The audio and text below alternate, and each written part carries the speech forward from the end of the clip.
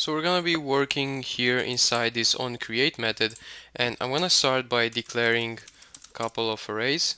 So first of all we're gonna declare an array of float. So I'm gonna say float and then I'm gonna use these square brackets. Then I'm just gonna give you an example. Um, we can just have set of numbers. Uh, probably you have to use some kind of functionality uh, mathematical functionality with a set of numbers.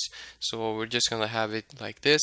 And then I'm just gonna show you how to declare a double array. So first of all you just have to say double and then the square brackets and then another set of numbers. And as you can see that's how it works. You just have to go at the end of the line and use this uh, semicolon. And after that I'm just gonna initialize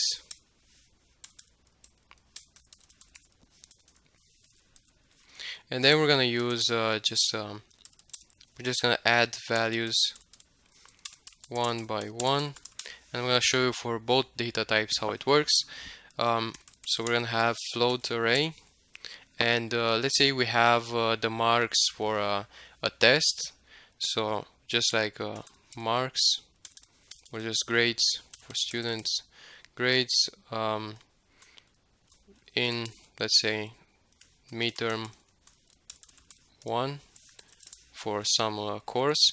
And uh, we're gonna have new float array and let's say we have about 34 students. Now also good practice would be to declare right here um, final int that's a constant and then you're gonna say number of students. And you have this constant that's 34 usually it's just better because um, you don't have to update uh, this number just uh, every single time. You would know what it represents also so um, that's why we do it this way. Just gonna specify new float number of students and uh, it's much better much simpler and uh, even understandable.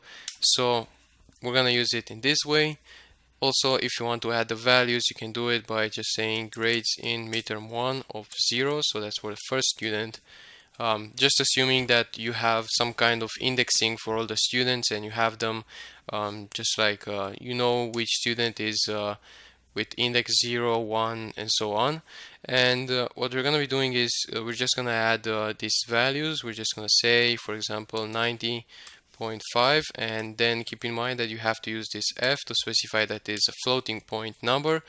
Now in this case it's probably okay to use uh, floating point numbers because you don't need that many decimal places and you would just save some space from memory if you use floats. And just like that you have uh, this uh, grade. Also you can just add one more and we're gonna say um, let's say 23 we want to update uh, the score. So we're gonna say 75 and uh, just like that we're gonna say F and that means it's a floating point number and so on. So you can just do it like this.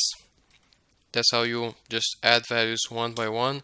Now if you want to initialize and add the values all at once you can also do it if you have a double, for example, a double array and let's call it uh, prices in a store. Just prices in my store. And we're gonna have a couple of prices so we're just gonna specify them right here.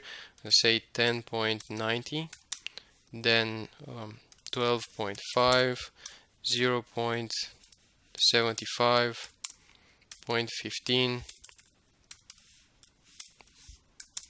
as you can see you can just give a couple of values. They also can be negative as you already know. They also can be integers. Um, doesn't really matter. 23.999 and also you can have uh, something that has more than uh, let's say if you have a price that is something like this. Or depends on your application. If you have that many decimal places you will use double.